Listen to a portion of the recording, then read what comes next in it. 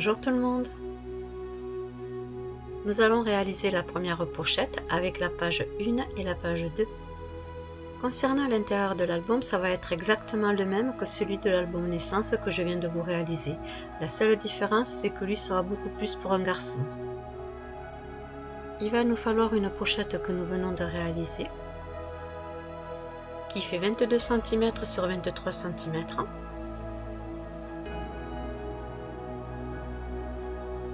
Il va nous falloir un morceau qui fait 8 cm sur 4 cm et demi avec un pli à 1 cm sur la gauche. Un second morceau qui fait 13 cm sur 9 et demi avec un pli sur la gauche à 1 cm. Un autre morceau qui fait 13 cm sur 18 cm avec son pli à 1 cm sur la droite.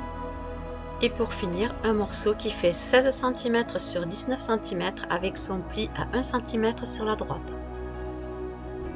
Concernant les papiers de décoration, il va nous falloir un morceau qui fait 6,5 sur 4 cm, un morceau qui fait 11,5 sur 9 cm,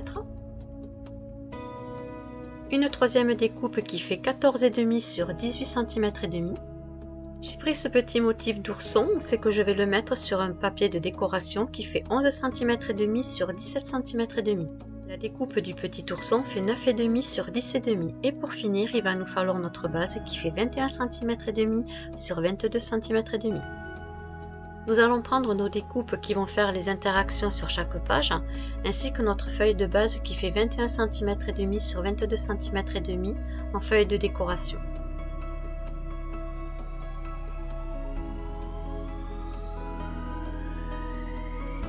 Commencer, on va couper les angles au niveau des plis à 1 cm.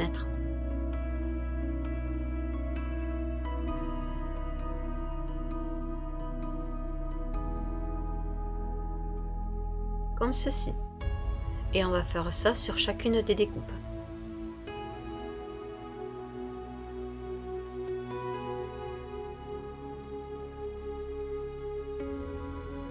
Tous nos angles sont coupés au niveau de la tranche des 1 cm et maintenant, à l'aide de notre plioir, nous allons tracer les plis.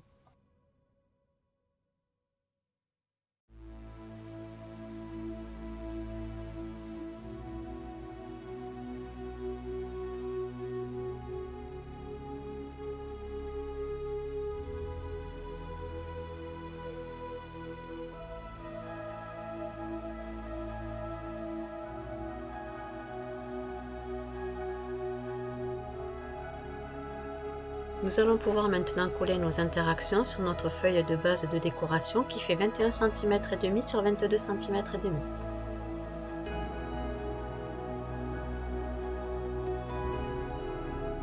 On va commencer par coller notre rabat qui fait 13 sur 18 cm. Nous allons le coller sur la feuille de décoration de base. Faites bien attention de la mettre au bon sens, c'est-à-dire qu'il faut que vous ayez sur votre droite les 22 cm et demi.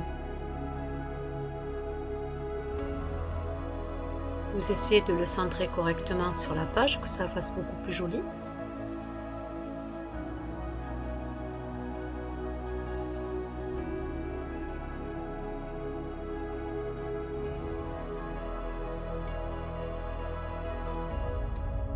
Une fois qu'on l'a bien centré, on le colle.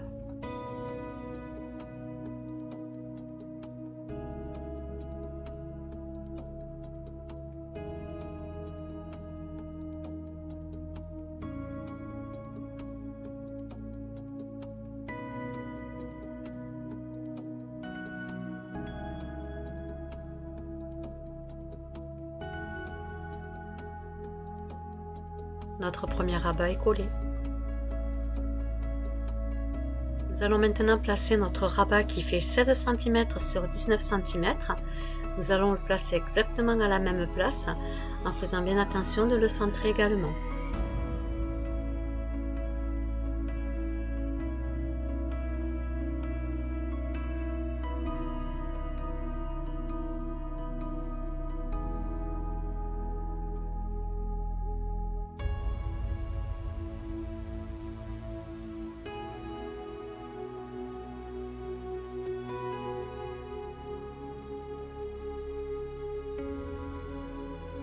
Voici nos deux rabats de collet.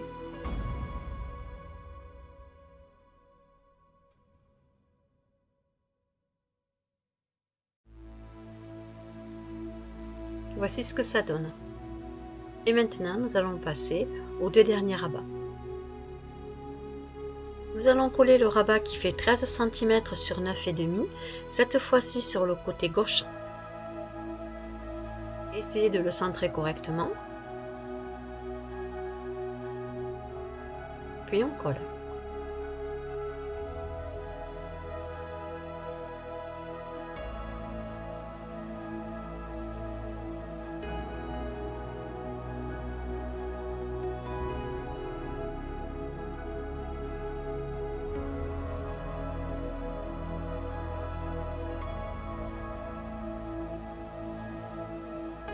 Nous allons coller notre dernier rabat qui fait 8 cm sur 4 cm et demi. Cette fois-ci, on le remet sur le côté gauche et on essaie de bien le centrer.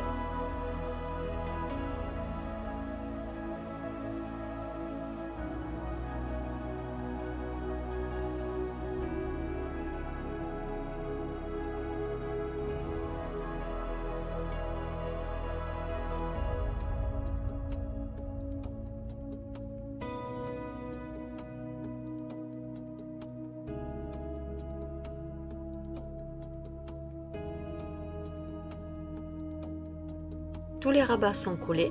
Nous allons maintenant coller les papiers de décoration dessus.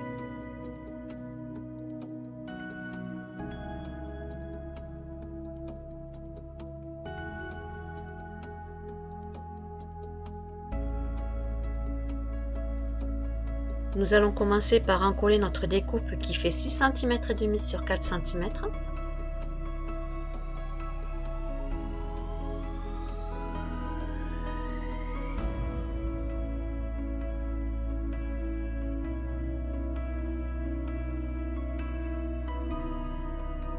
Nous allons coller notre papier de décoration qui fait 11 cm et demi sur 9 cm.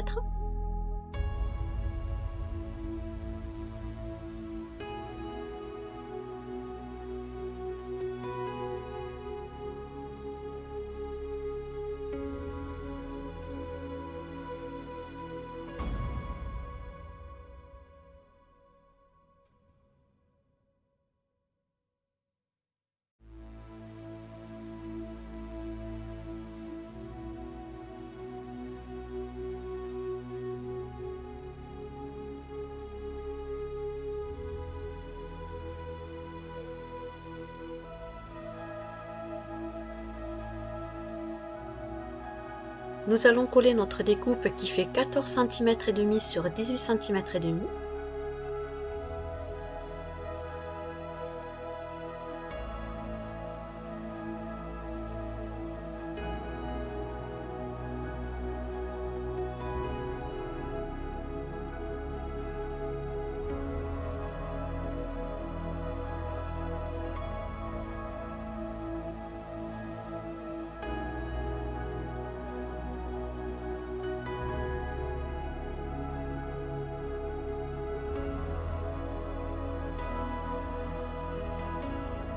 Nous allons coller notre dernier morceau qui fait 11 cm et demi sur 17 cm et demi.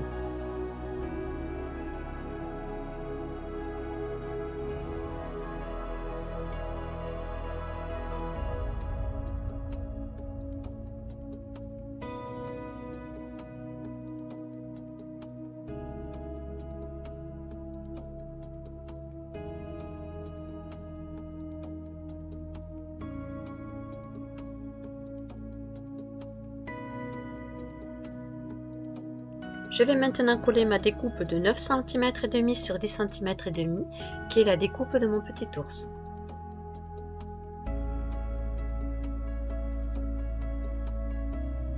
Je le centre correctement.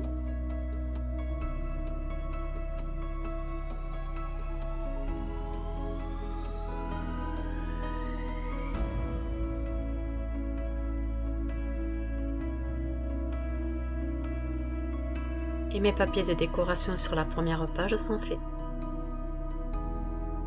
Je vous montre les bases des pages, ensuite pour tout ce qui est finition de décoration, je vous le montrerai à la fin.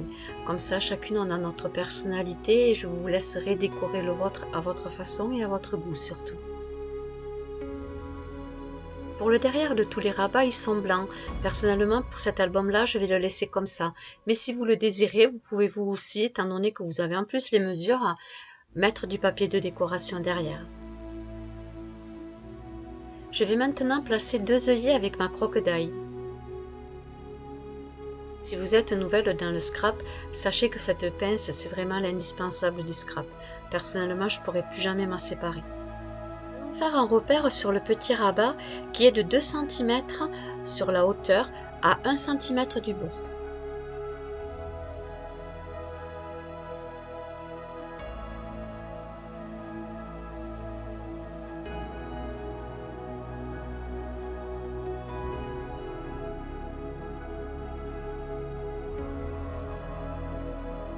Concernant le rabat suivant, nous allons prendre en hauteur 4 cm sur 1 cm du bord.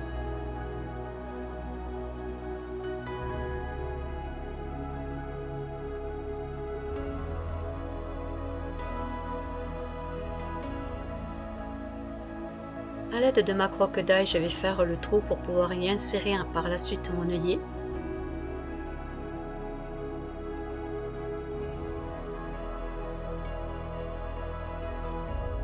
J'insère mon œillet à l'intérieur.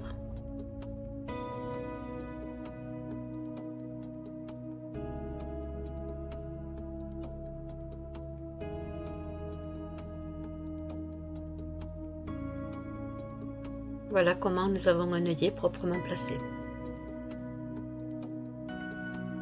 Je vais faire la même chose sur le rabat suivant. Alors c'est sûr, si vous n'avez pas d'œillet comme ça en acier, vous pouvez très bien le faire avec des œillets en papier.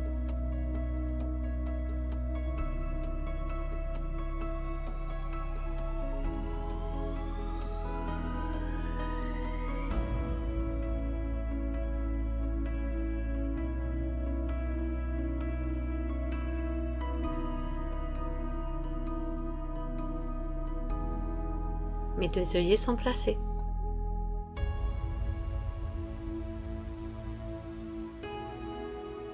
Je vais maintenant prendre ma pochette que nous avons fait sur les tutos précédents et je vais y coller ma première page dessus. Faites bien d'avoir les ouvertures de la pochette à droite et à gauche.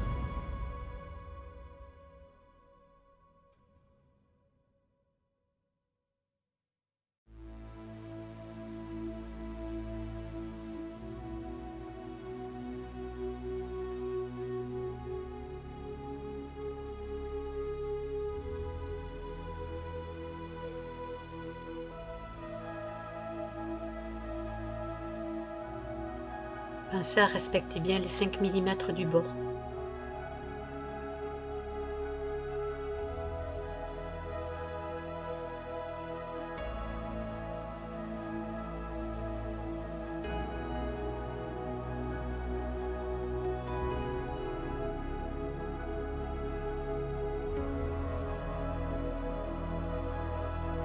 Je vais faire presse avec des petites pinces et il ne vous restera plus qu'à faire la décoration finale.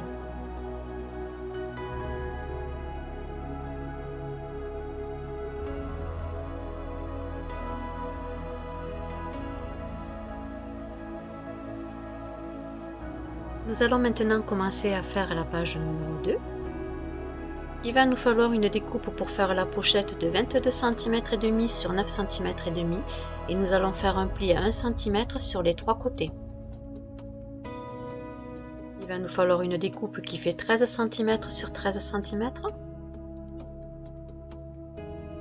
Et pour finir, nous allons faire deux découpes qui fait 21 cm sur 10 cm et demi et nous allons faire un pli à 1 cm et un second à 11 cm sur la longueur des 21 cm. Vous le faites deux fois. Pour les papiers de décoration, il va nous falloir 8 carrés qui vont faire 10 cm sur 9 cm et demi. J'ai fait cette découpe de l'ourson de 12 cm et demi sur 12 cm et demi. Pour la décoration de la pochette, il va nous falloir une découpe qui fait 21 cm et demi sur 8 cm. Et notre feuille de base de décoration qui fait 21 cm et demi sur 22 cm et demi. Nous allons commencer par couper les deux angles à chaque pli de 1 cm.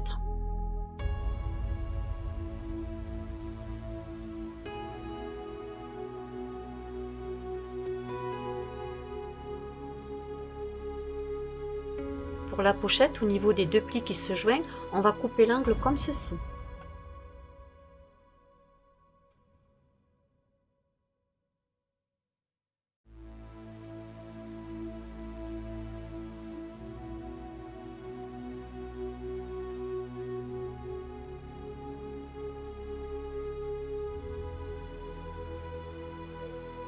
A l'aide de notre plivoire, nous allons tracer tous les plis de toutes nos découpes.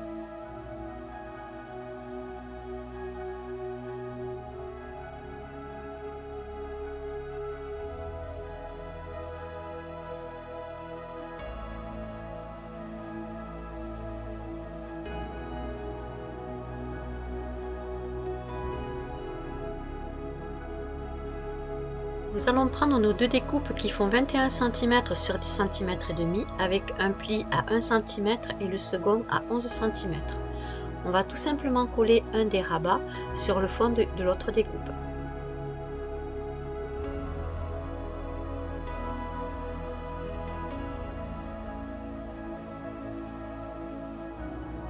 Cela va nous donner une forme en accordéon.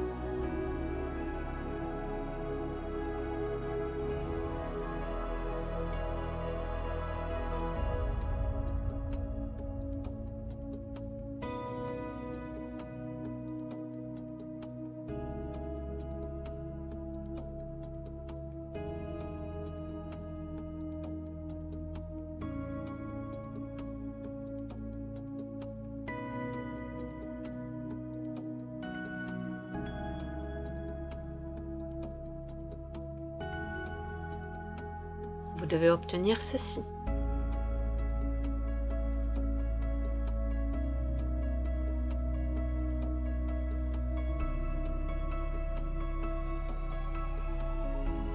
On va prendre notre feuille de décoration de base qui fait 21 cm et demi sur 22 cm et demi et maintenant on va pouvoir y coller nos interactions dessus.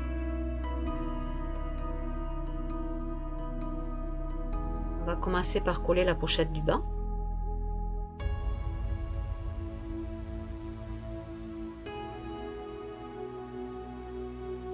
Et on le colle correctement sur le bas de la page.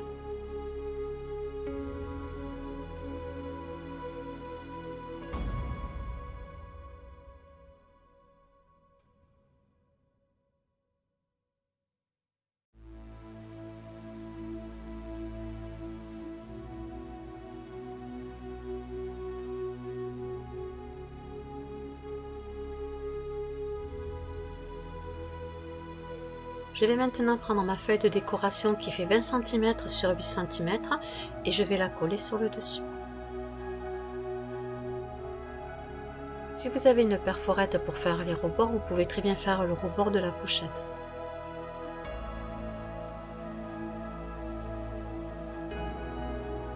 Comme ceci.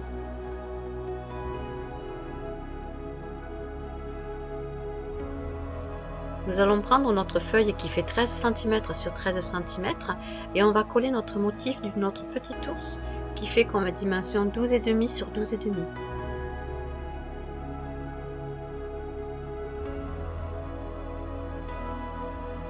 Je la colle à 5 mm de chaque bord.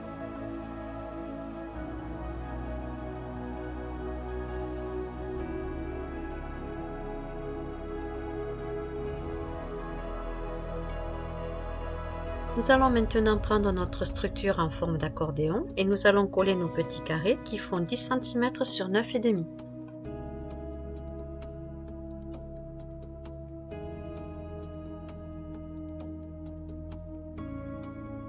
Choisissez l'ordre que vous souhaitez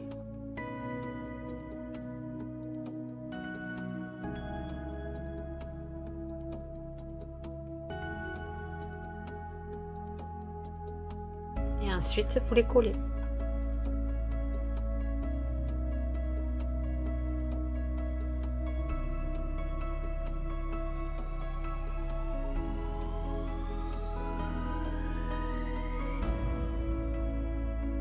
Attention lorsque vous allez le coller de le mettre dans le bon sens.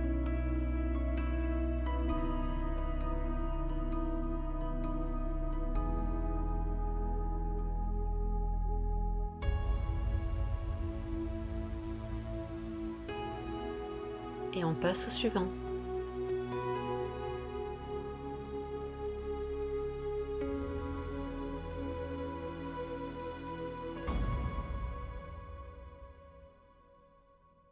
Surtout lorsque vous collez vos feuilles de décoration, passez bien aux 5 mm du bord. Ma reliure en forme d'accordéon est terminée. Voilà ce que vous devez obtenir.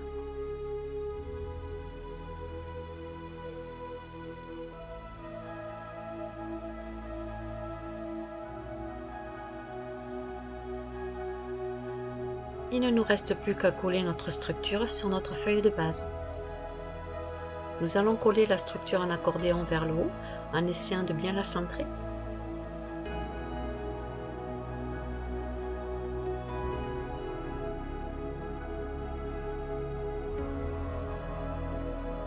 Une fois qu'elle est bien centrée, on la colle.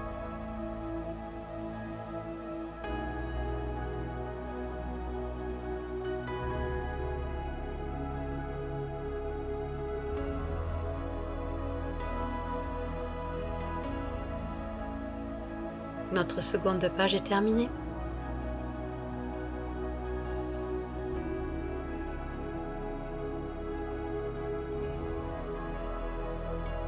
Il ne nous reste plus qu'à la coller sur le dos de la pochette. Bien faire attention que la pochette est à l'endroit, que nous avons bien les soufflets qui sont à droite et à gauche.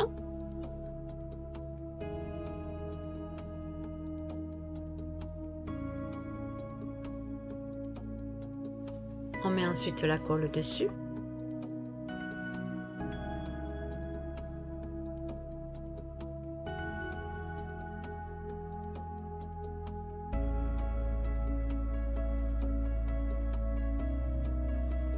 Puis on le colle correctement, toujours en respectant les 5 mm du bord.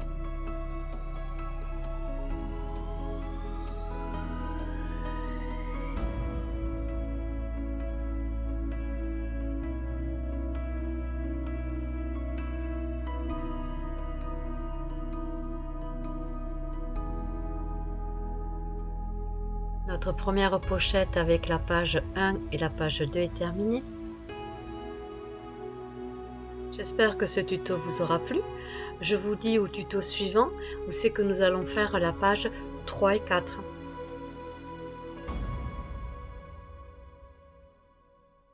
À bientôt